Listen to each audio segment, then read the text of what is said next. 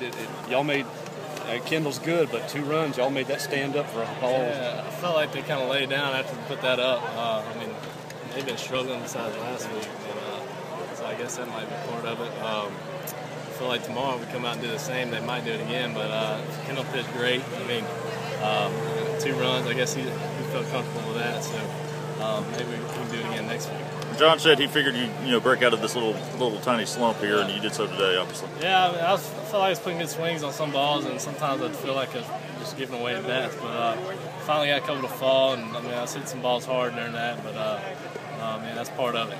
As much as it helped the pitcher, how much did it help the offense to go out and put up multiple runs in the first inning?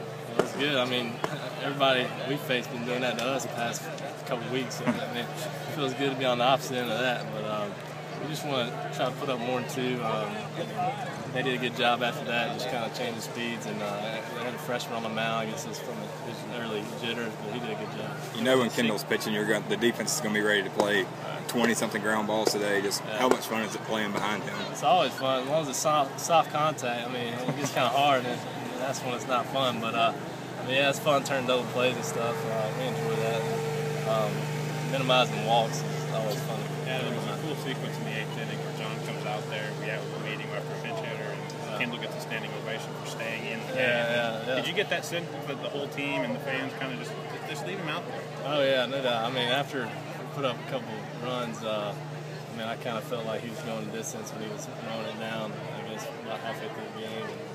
Kendall was like, "Why is he coming out here?" Whatever. But uh, he got kind of upset. Umpire started squeezing. At least he felt like that. But uh, uh, that's the only reason he came out. But um, I mean, yeah, everybody here wants to see that anytime. Shutout's awesome. Thanks, Evan.